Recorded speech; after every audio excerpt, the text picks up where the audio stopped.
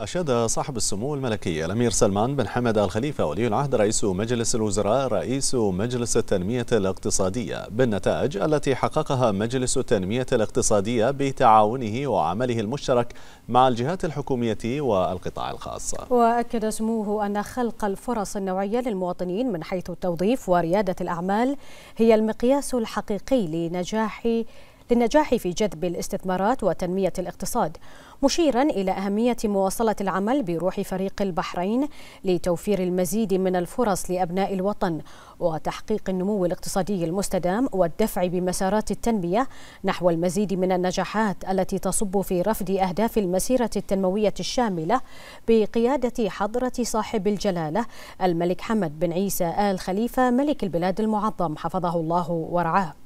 وقال سموه إن ما تحقق حتى اليوم من منجزات للوطن جاءت بفضل العمل الجماعي بروح الفريق الواحد فريق البحرين والتي هي محل تقدير واعتزاز من الجميع. مؤكدا سموه أهمية مواصلة العمل بهذه الروح في المراحل المقبلة من أجل تحقيق الأهداف الاقتصادية التي يتم العمل عليها. مشيرا سموه إلى الشراكة بين القطاعين العام والخاص وما تم إنجازه من مشاريع حيوية من خلال هذه الشراكة التي يجب أن تتعزز لمواصلة تحقيق كل ما من شأنه الخير والنماء للوطن والمواطنين.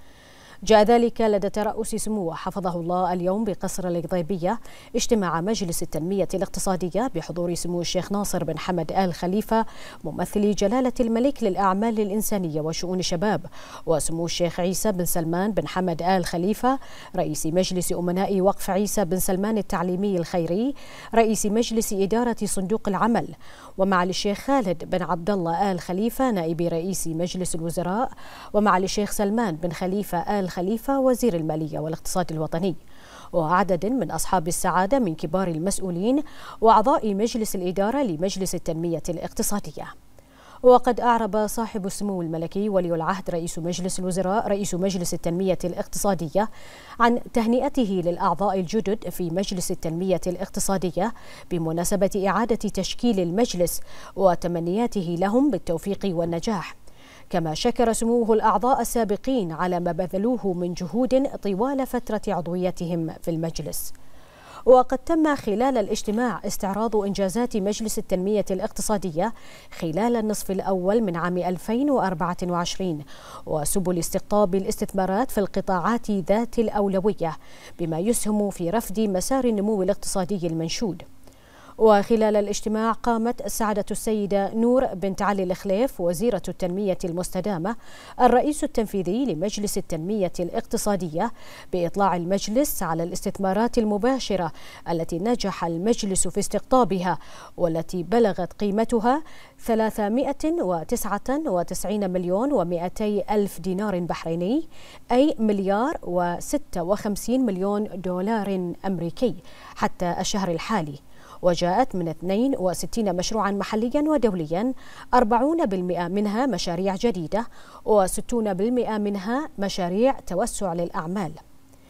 كما استحوذ قطاع الصناعة على الحصة الأكبر من الاستثمارات المباشرة المتنوعة وتلاه قطاعي السياحة والخدمات المالية حيث ستساهم الاستثمارات المتراكمة في خلق أكثر من 5400 فرصة عمل في مملكة البحرين على مدى ثلاث سنوات. كما تم خلال الاجتماع استعراض قصص النجاح في القطاعات ذات الأولوية حيث تم استقطاب مشاريع استثمارية من شركة تصنيع المواصلات الإلكترونية بوليماتيك وبنك سنغافورة الخليج والشركة الرقمية أري وأمانة للرعاية الصحية وجامعة لايد فيما تم استعراض إنجازات مجلس التنمية الاقتصادية في التواصل مع المستثمرين الدوليين